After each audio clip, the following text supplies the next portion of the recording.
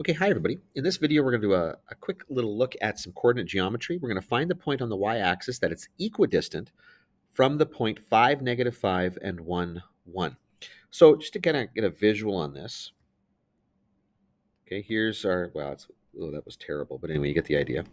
Uh, so 5, negative 5, so 1, 2, 3, 4, 5, 1, 2, 3, 4, 5. So here's our point right there.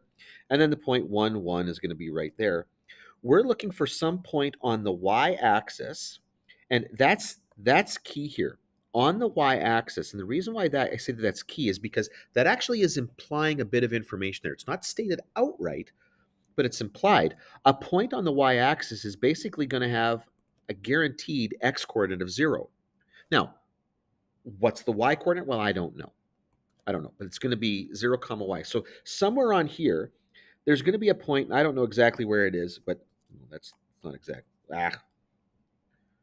Oh, shoot. Hold on. Just got to bring that back here. Um, what I want to do here is there's going to be some point here, down here, where these two are the same. Now, it's going to help us to also have the distance formula. If I want to find the distance between two points A and B, that is the square root. That is going to be xb minus xa squared plus yb minus ya squared. Okay, that's what we call the distance formula. Now, you should recognize that. That's the Pythagorean theorem. Okay? Now, in this particular case here, what we want to do is we want to set the distances kind of equal to each other. So we've got this point on the y-axis. Let's call this the point A. And that this is point, point B, and this will be point C. What I want here is I want the distance from A to C, or sorry, we'll do it in order here, A to B, to be equal to the distance from A to C, which means this is going to be the square root, and I'll do the square root later. Uh, it's going to be x um, b, so 5 minus 0 squared, plus negative 5 minus y squared. That is square root. That is the distance from A to B. And that is going to be the distance. I want that to be equal to the distance from A to C. So that's going to be 1 minus 0 squared plus 1 minus y squared. And again, square rooted. All right. Now, some things we can do to make our lives easy right away. First of all, we can square both sides of the equation. But all that's going to do is get rid of the square roots. So, but that's a that's a step in the right direction. And then 5 minus 0 is 5. Squared will be 25.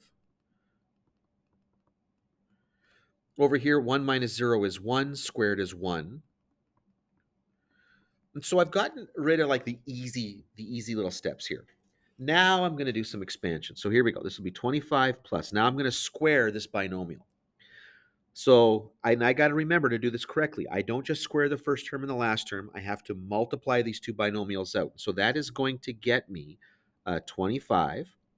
And then it's going to be plus 10y plus y squared. And again, if you're not sure where I'm going with that, that's because it looks like this.